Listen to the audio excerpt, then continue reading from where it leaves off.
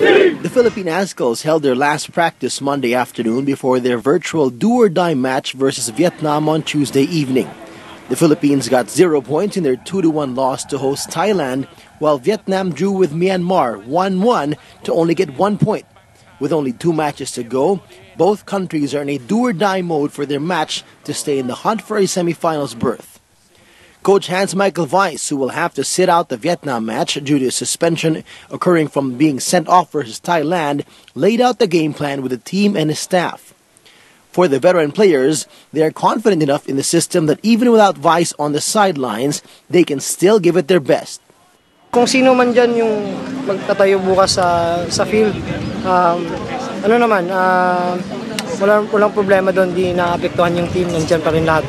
For veteran defender Rob Gier, Although there is more pressure against Vietnam, he feels they now have what it takes to pull the team through. The confidence is still there. You know, we we, we lost um, the other day to a, to a very good Thai side who are playing on home soil with a home crowd against us. So there's nothing to be um, nothing to be ashamed about in that result. Meanwhile, an unfortunate accident happened at practice when Angel Guirado inadvertently hit Patrick Reichelt with an elbow that sent Reichelt to the ground, screaming in pain as he lost three teeth due to the blow to the jaw.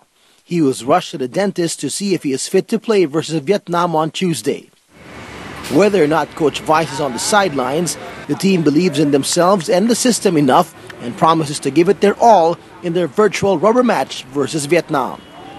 TJ Manotok, ABS-CBN News, Bangkok, Thailand. Runners braved the elements in the 9th Antarctic Marathon. There were 46